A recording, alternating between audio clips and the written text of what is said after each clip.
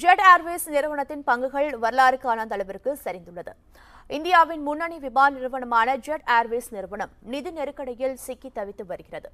இதனால் கடும் நிதி நெருக்கடியின் காரணமாக ஜெட் ஏர்வேஸின் விமான சேவைகள் முற்றிலும் நிறுத்தப்பட்டன. இந்நிலையில் ஜெட் ஏர்வேஸ் நிறுவனத்தின் பங்குகள் கடந்த ஆண்டுகளில் இல்லாத அளவிற்கு இருபத்தி மூன்று புள்ளி இரண்டு சதவீதம் சரிந்துள்ளது. இதனையடுத்து ஜெட் ஏர்வேஸ் நிறுவனத்தின் இருபத்தி இரண்டாயிரம் ஊழியர்கள் வேலை இழந்து அவர்களின் அடிப்படை வாழ்வாதாரம் பாதிக்கப்பட்டுள்ளது. இந்நிலையில் ஸ்கைப்ஜெட் நிறுவனம் ஜெட் ஏர்வேஸ் ஊழியர்களுக்கு உதவிகரம் நீட்ட முன்வந்துள்ளது இதில் நூறு விமானிகளும் நானூறு பணியாளர்களும் வேலை வழங்கியுள்ளனர்.